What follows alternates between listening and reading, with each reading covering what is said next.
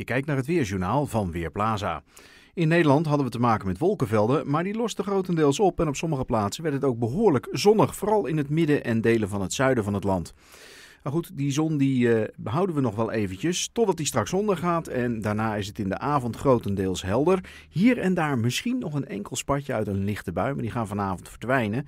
En bij heldere momenten in de nacht daalt het kwik flink. Uh, die heldere momenten houden het het langst vol in het oosten en midden van het land. En in het noordoosten kan het zelfs 1 graad vriezen. In het westen neemt de bewolking geleidelijk toe, liggen de minima tussen 2 en plus 4 graden. De wind wordt zuidelijk, is zwak of matig. Ook morgen overdag, zuid tot zuidoost is dan de richting.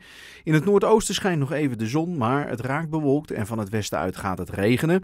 Die regen bereikt Groningen overigens pas laat in de middag of zelfs pas in de avond. Het is een wisselvallige periode, want ook woensdag krijgen we opnieuw te maken met een stevig regengebied. Er kan echt meer dan 10 mm gaan vallen, bij temperaturen die uitkomen tussen de 6 en 9 graden.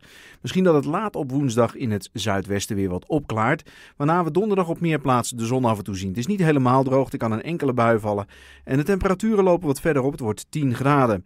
Ook vrijdag 10, misschien zelfs 11 graden, met af en toe de zon, maar ook nog altijd kans op wat lichte regenval. En de temperaturen willen vooralsnog niet echt omhoog. Zeker niet tot en met het weekeinde. We komen waarschijnlijk wel net boven de 10 graden uit. Maar veel verder stijgt het kwik niet.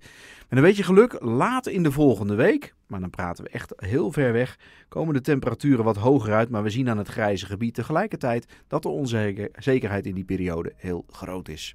Ik ben Marco Verhoef van Weerplaza.nl.